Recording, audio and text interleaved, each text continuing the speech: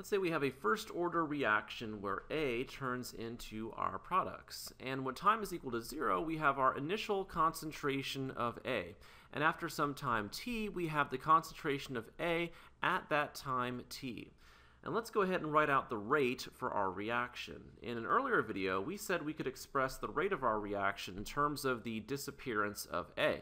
So we said that's the change in the concentration of A over the change in time. And we put a negative sign in here to give us a positive value for the rate. We could also write out the rate law. So for the rate law, the rate is equal to uh, the rate constant K times the concentration of A, and since this is a first order reaction, this would be to the first power. So we talked about this in an earlier video we can set these equal to each other, right? Since they're both equal to the rate, we can say that the rate of disappearance of A, so the negative change in the concentration of A over the change in time, is equal to the rate constant K times the concentration of A to the first power. This is the average rate of reaction over here on the left. And so if we wanted to write this as the instantaneous rate, we need to think about calculus right? So the instantaneous rate would be negative dA, right? dA, the negative rate of change of A with respect to time. So this would be dt.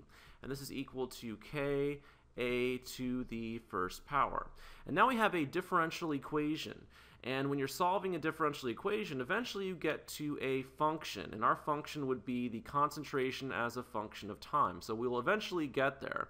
But your first step for solving a differential equation is to separate your variables. So you need to put all the a's on one side, and we'll put the t on the opposite side.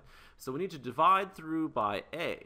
So we get, on the left side, we divide both sides by A, and we get dA over the concentration of A here. We're going to multiply both sides by dt to get the t on the right side. So we would get k dt over here on the right. And uh, I'll go ahead and put the negative sign on the right as well. So we just rearranged a few things to get us ready for integration. Right? After you separate your variables, you need to integrate. So we're going to integrate the left, and since k is a constant, I can pull it out of my integral, and I can go like that. And let's see, what would we be integrating from? Well, for time, let's go back up to here, right? Time, we'd be integrating from time is equal to 0 to time is equal to t. And for concentration, we'd be integrating from the initial concentration to the concentration at some time t. So let's go ahead and plug those in. So we'd be integrating from 0 to t on the right side. On the left side, we'd be integrating from the initial concentration of A to the final concentration, or I should say the concentration of A at any time t. All right, so on the left, right, dA over A, that's natural log of A, right? So that, that would be equal to the natural log of a, and we would be evaluating this from the initial concentration to the concentration at some time t. And on the right side, integral of dt is just t. So we have negative kt evaluated from 0 to t.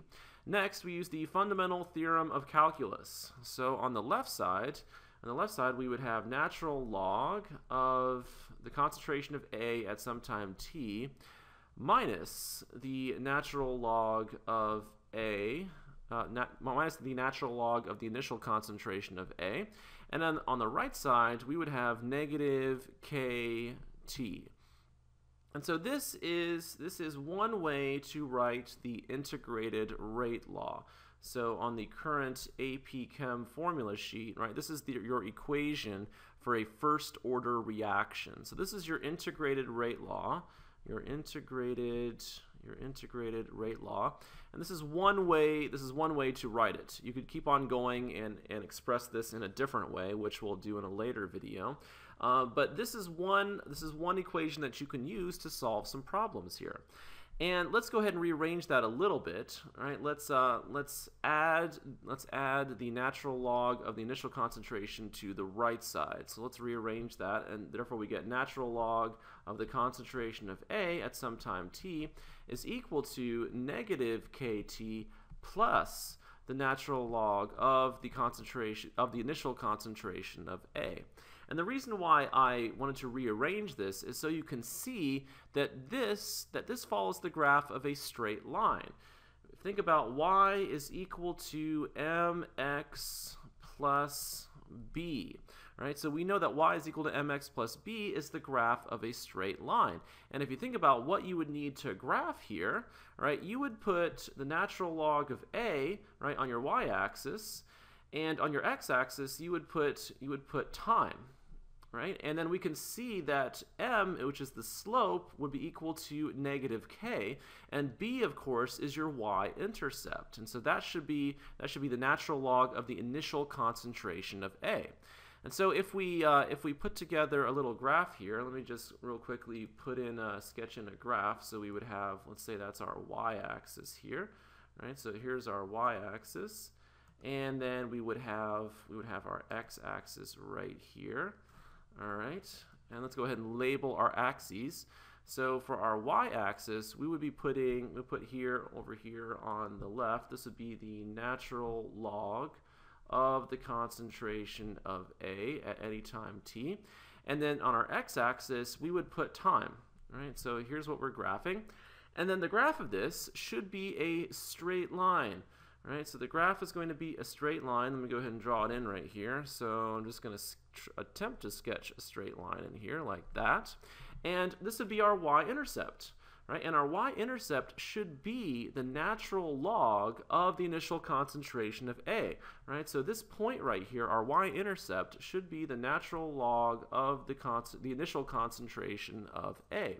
And the slope of our line, right, let's go back over here, the slope of our line, which is m, should be equal to negative k. So if you get the slope of this line, this slope is equal to negative k. So from the slope, you can find the rate constant. And the graph of the natural log of a versus time gives a straight line with a slope of negative k.